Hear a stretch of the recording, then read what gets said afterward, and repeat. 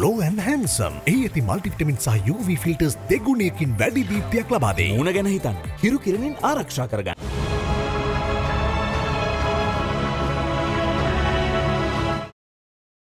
September මස එකොළොස් වන දින කොවිD-19 ආසාධිත මරණ එකසිය හතලිස් හතරක් සිදුව ඇති බව සෞඛ්‍ය සේවාධ්‍යක්ෂ ජනරාල්වරයා විසින් තහවුරු කර තිබෙනවා.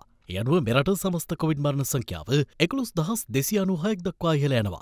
පෙරද දිනේ සිදුව ඇති එම මරණ අතර පිරිවි පුද්ගලින් හැත්තේ හත් දෙනෙකු සිටිනවා. එම මරණ වලින් එකසිය විසිදි දෙනෙකු වයසවුරුදු හැටට සහ ඊට වැඩි පුද්ගලින්.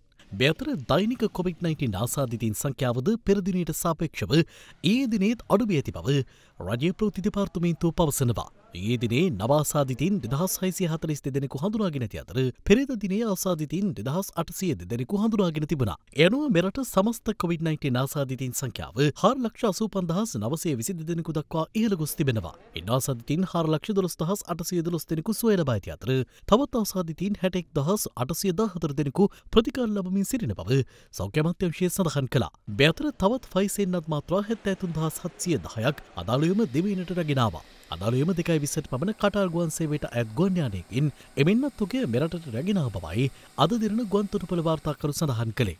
එමෙන්න්නත් ඔගේ නාරහෙම් පිට ජාතික රුදිර පාරවිලේන මධ්‍යස්ථානය වෙත බාරදී තිබෙනවා.